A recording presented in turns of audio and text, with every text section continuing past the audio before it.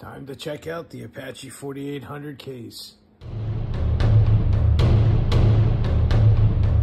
Hey everybody, the Chang here with a, another product review. This Today we're going to be talking about the Apache 4800 sized case. Before we do that, go ahead and hit that thumbs up, hit the subscribe button, and that bell notification icon that's off to the right there somewhere so you can be notified of any of the new content that we might pro uh, that we might post. So let's get into the case here. Um, I've been looking uh, for a case to transport a lot of the demonstration units that we use for class, uh, some of the loaner guns that we use for class. And uh, I'm a fan of uh, Pelican cases and uh, SKB cases, some of the Plano cases, um, and one of my students had uh, recommended that I check out these Apache cases from Harbor Freight. And uh, we know that uh, Harbor Freight really isn't known for super high-end stuff. Uh, they try to build themselves as a value-oriented brand. So um, how could how good can this case actually be? So let's check out some of the features here. Um, this is uh, the 4800 series. So more of a briefcase size here. It's actually pretty large. You can barely get it to fit on the little workspace here. Um, if you here, it does have a have a, a uh, blow off valve here. I've flown with these cases where the uh, pressurization between the, the, the, luggage hold and, and the airplane or the atmosphere actually creates some pretty bad suction so you can't get these open.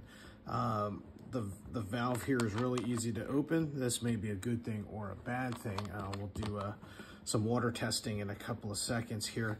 Um, latches are real positive. The 4800 has latches on three sides. Of course, hinges on one side. Um, padlock spots uh, looks very, very similar in construction. Feels very, very similar. The latches even feel similar um, to my Pelican case when we get this open, we'll see that uh, standard foam up here. There's a, I can't see it here. Um, let's see if I can get this angle a little bit. Right along the bottom here, you can see uh, there is a rubber gasket. That rubber gasket is shaped for this seam here. So they build this to be waterproof slash water resistant.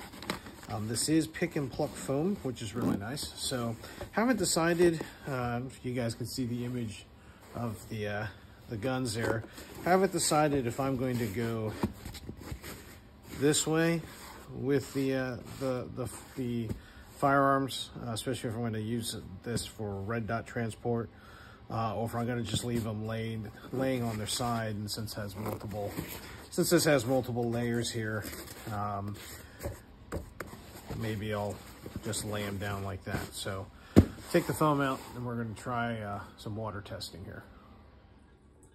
All right, first test I'm gonna do is a spray test. I'm gonna spray all around the edges. Uh, spray it on top. I'm gonna spray at this blow off valve as well. Try to see if uh, the seams will leak through at all. And uh, I do have a piece of paper in there, so if it does start to leak, we'll, uh, we should see some water inside.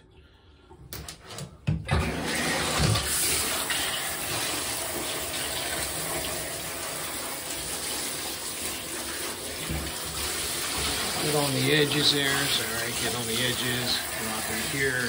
Turn it sideways. Get across the top. Across the hinges. All right. So.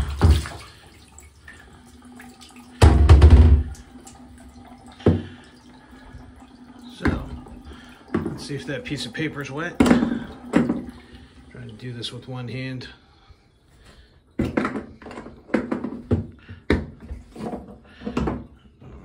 So I don't know if you guys heard that, there's a little bit of suction. And looks pretty dry in there. Piece of paper is dry. There we go. All right, next thing I'm gonna do is I'm gonna try to submerge this. So I'm gonna get some weights and put them in. All right, so I have a 35 pounds worth of weight in there. I'm going to uh, button this up and uh, start the water.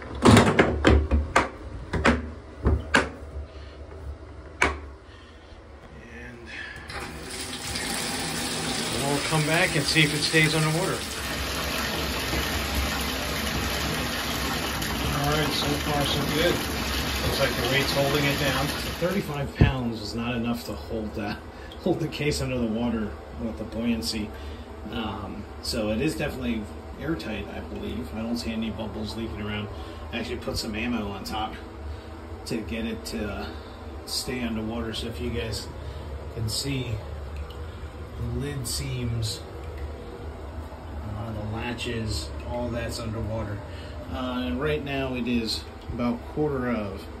So we'll come back, we'll do it, let this sit for 15 minutes and we'll see how it works. All right, so we're back. Uh, I didn't continue the uh, immersion test because um, my bathroom bathtub stopper actually leaks. And when it came back after 15 minutes, the water level had gotten uh, pretty low. Actually, it was below the seam, uh, below, below the seam here and below the uh, little blow off valve. So um, I'm pretty confident that it's uh, it was dry, bone dry on the inside anyway. So I'm pretty confident if it was going to leak, it would have leaked, started leaking right when I put the ammo cans on there and you would have seen bubbles and we didn't see any. So uh, my recommendation is if you are looking to give these a shot, absolutely. Um, they are significantly less than comparable uh, uh, comparable equipment from SKB and uh, from uh, Pelican and Hardigg. So um, I will be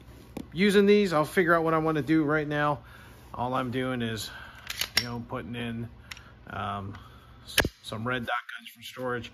Again, not sure if I want to go straight up and down with these or get a different type of storage and transport system. But um, these are going to get placed down in here.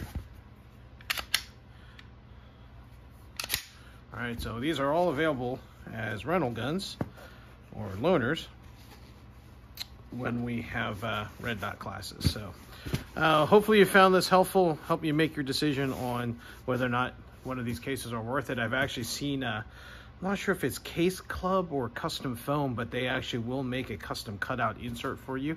Uh, they do have a designer on their website. If I can find the website, I'll put it in the description so you guys can check that out if you want to get one of these cases and have a custom cut for uh, whatever equipment you're putting in on the inside. So there you go.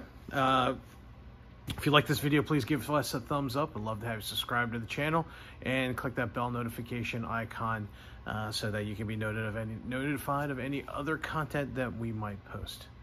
Thank you so much for your time. Appreciate you spending it with us. Stay safe, and we'll see you out on the range.